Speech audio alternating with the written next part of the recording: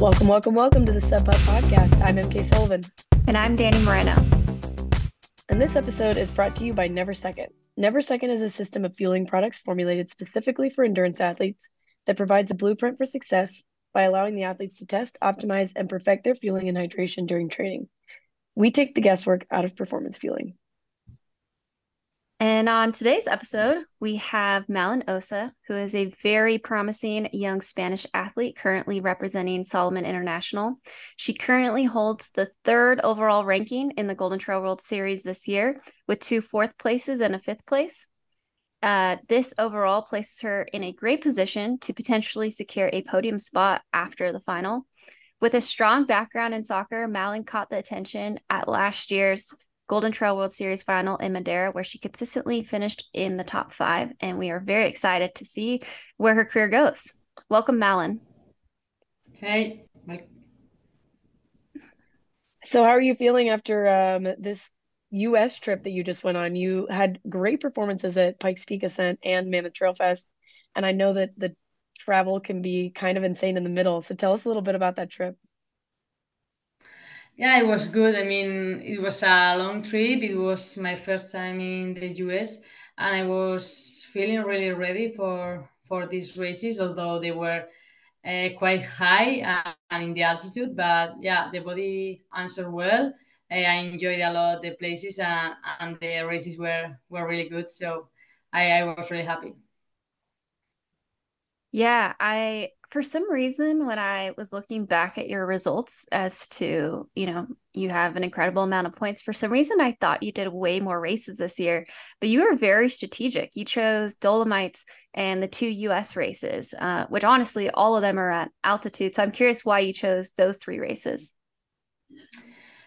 Yeah, I decided to to not do really long races this year because I think I'm still uh, a bit young. So I decided to to not go to to marathons. That's why I decided to avoid Zegama and, and Mont Blanc. And then I know I'm quite good at technical, so I thought uh, Dolomites would be a really good distance and, and a good race for me. And the same thing with Sierra I decided to stop in August. I tried to train as much as I could and to, to reach the US races in the best shape possible. And I think that worked because because I'm now in the third overall, as you said before. So so yeah, I'm I'm happy with the with the season I, I'm doing. And I'm actually going to back it up a little bit because I realize that like I don't know much, and also our listeners probably don't much know much about your background. So tell us a little bit about your sports background and like how you got into trail running to begin with. Yeah, I've been swimming and playing football all my life. And but well, I love mountains since I'm really young. My family love mountains, and I have a small house in the Pyrenees as well. So I've been uh, going to the mountain my whole life, and it was a surprise because I ran my first uh, trail running race two years ago, uh, two summers ago, and I realized I was better than expected. So I loved the sport, and I decided to continue until until now. Yeah, that's a that's a pretty cool combo. Uh, I don't hear. I grew up playing soccer as well, football and the rest of the world. Um, and a lot of my friends who played soccer, like they mostly did like outdoor sports and swimming obviously is outdoor too, but I think that's a really cool combo that you have, you know, kind of like that full body exercise, being in the pool and stuff. Um, I'm sure that helped a lot with your your back and your upper body strength, uh, but also pairing that with soccer. Did you ever enjoy one more than the other or like why did you choose those two sports? Um swimming it's really typical in my town like when we are young everyone everyone goes there. And i started swimming because of that and it was cool. I like i think i like suffering in the sport and and swimming is a really hard sport. You need to train a lot of hours. And i think that helps me a lot right now as well because i like i have a background with a really suffering sport and on the other hand, I loved football my whole life. I was a fan from a lot of football players, and I I lived really a really intense uh, period of my life with with football. So that's why I I chose them, and I've been doing them like uh, until two years ago, something like that, until I started to to run in the mountains. I was a, a swimmer growing up also, and I bet that's part of why you like have done so well at these altitude races. Because I remember when I moved to altitude for college, I was like, this actually isn't that bad. I'm just used to like not breathing underwater. So, like, what's the difference? yeah. Um, I think I'm dealing pretty, pretty good with the altitude, and I don't know exactly the reason, but, but I think it's a it's a good point because because I will do more races in altitude maybe in the future. So so I'm I'm happy with that as well. Yeah, I love that you say a suffering sport because I feel that that is trail and mountain running. You're just suffering a majority of the time. And then I also love how you said uh like the intensity, like you enjoyed the intensity of football. So intensity meets suffering. Uh I could see why you are paired and prepared well for trail running. um going back to kind of like your selection of the races and also you know taking august to train um for me that is just like so i love hearing that. I love hearing that approach especially for younger athletes kind of recognizing you know maybe look thinking more long term. And i'm just curious is that something that you thought of or like you are talking to a coach about? Um yeah how did you formulate that plan? Because i think that was extremely smart. Yeah, um, my coach is really conservative and he's always stopping me, can say.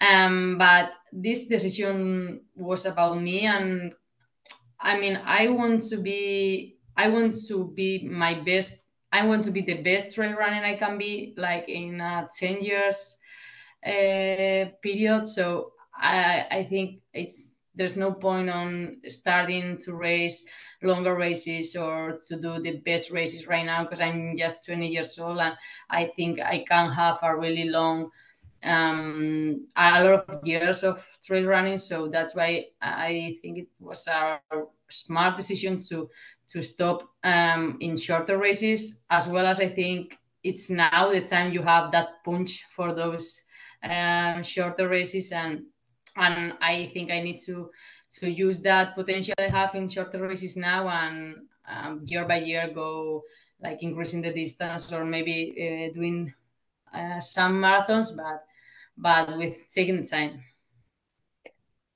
Very mature. I love it.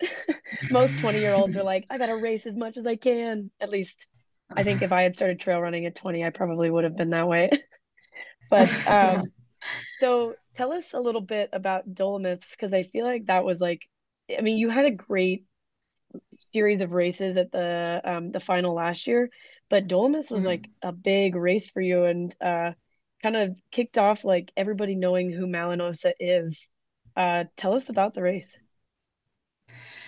Yeah, after the Worlds, I had a really tough time because it was difficult to recover. I was a bit tired mentally as well. And I approached the Dolomites race a bit scared. I knew the race was really good for me. Uh, but well, a couple of weeks before, I started to feel ready again. And, and the race, especially the uphill, was the best I could have done. Honestly, I think it wasn't my best race because I'm not happy with the downhill I did. But but yeah, um, in general, it was a really really good day. Uh, I didn't expect to to have that result uh, with the best in the world. Having a fourth place, it was it was a dream for me, and and I really enjoyed enjoyed the moment. Oh, Danny's a little paused right now, so I'll ask the next question. But um, so then so then you go to America and you have some awesome races. So I'm curious because the final last year was a stage race, and that was kind of, I'm assuming, like definitely the longest you've ever run in one go. Yeah. So, like, did you enjoy that format, or are you more excited about the the shorter distance coming up? Uh, I uh, I think the final was a surprise for everyone, but especially for me because uh, my first objective when I go, go, when I went to Madeira was to finish the stages because I didn't even know if I would uh, be able to finish them all. Uh, but also I realized, and I'm realizing while training as well, that I think I can be good at longer distances because I'm more diesel than fast. but uh, that's not the reason to start doing long races now. Uh, I'm motivated for the future because I think I can be good in marathon, but um, I, I still have a lot of time for that, and that's why I'm enjoying now the shorter races, and then like I'm really motivated as well to to do longer ones in the future. So going into the final, do you have um, like a specific strategy with the time trial day and the um, the 26k day? Are you doing both? Yeah, I will do both, and I think the time trial is too short for me because I'm not as fast as others maybe. But yeah, I will do both and try to get uh, as much points as possible in both of them. Yeah, you're currently ranked third, which I feel like is amazing. First off, congrats to that. Um, but yeah, like the difference between third, fourth, fifth, and sixth is, and even seventh, is not that big. So, no. if if you're willing to share, like, what is kind of like your race plan going into the longer day to kind of protect that podium um, spot? Well, first of all, I need to tell that um, I think it's really difficult to maintain that third position because I know I'm there because I deserve that, and I have done really good races. But as you said, uh, the gap is really close between the third and the seventh, and I know I need to do my best race for maintaining that. That's why I think I will be really, really happy with that top five, maybe. Because in the in the beginning of the season, my goal was to finish like in a dream. It was to finish top ten so yeah and right now i'm like um, really really excited and i still i'm still assuming that i'm third, third overall. So well the strategy is to do my own race because that uh, worked out as well as in mammoth um, also in pikes peak so i will go and do my race. If i have a good day i can be fighting for that top three. And if not well I'll do the best as I can, and, and that's all. I'm excited to watch. I think it's going to be like one of the more exciting finals just because it is one day and everybody is so close on the men's and the women's side after that like um second place spot and um oh i had a question about the course specifics because the course is like super runnable it looks like there's not um many like long climbs or long descents that you can kind of just like you know let go. So you kind of have to be hammering the whole time. And uh i think that i'm just i'm curious are you more of like a go out slow and build into it or do you go out hard in races i am i think the climbs are too short for me because i think i'm better in long climbs. Like in Mammoth, my best uh, time was when the climb got uh, steep. But well, I've heard as well that a couple of downhills are quite technical. So my goal is to to push hard in those downhill to to make the biggest gap I can, and and then I think it's really important to not go not to go too hard in this race because you have an uphill really in the end as well. So you need to to reach with energy that that um, that place and and I will try to to reach the the final the final kilometers with with uh, enough energy. Out of curiosity, have you ran on like in this area before? Where the final is at? No, I haven't. No, I don't know the the place. Uh, well, the good news is that we are at zero meters, so now we are coming back for for the altitude. So in theory, it will be easier, but but well, we'll see because everyone is in the same position now as well, and the the field will be really really strong. So my plan is to to enjoy and to do the best as I the best I can, but but without uh, focusing too much in that third third overall. And are you planning on getting there early enough to kind of see the course, or when do you fly in? I'm flying two days before, so no, I think I'm not. I'm not running the whole course. Uh, I've I've seen the the profile, and I've I will I will make a plan with my coach, but but I'm not uh, getting crazy with with it. Uh, actually, sometimes I prefer not to know the course and to be a surprise. So Mammoth was like that, and it was good. So. That's funny. I think uh, Sophia Laukli does the same thing. She doesn't really check out the courses beforehand. Um, so it seems to be working out for both of you too. Um, I, I, don't know if that's the only reason for Sophia, but. that's incredible. Are you doing any kind of last minute training efforts that are geared specifically towards the course and kind of the the short punchiness of the hills? Yeah, on the one hand, I'm, I will do a test that I have been doing the whole season to see where is my shape right now, and then yeah, I'm I'm trying to find trails with uh, shorter climbs and faster faster paths, and well, let's see if that works. A little bit of race simulation. Do you do like a when you say a test? Are you doing like a time trial? No, it's it's more to to see the lactate and, okay. and like there is like a, a test with the same loop, doing it more than once. It's like seven minutes loop approx. And then you like test your lactate in the like each loop. Yeah, that's yeah. cool. Mm-hmm. So I guess last question would be, uh, what shoes are you planning on wearing for the race? The shoes.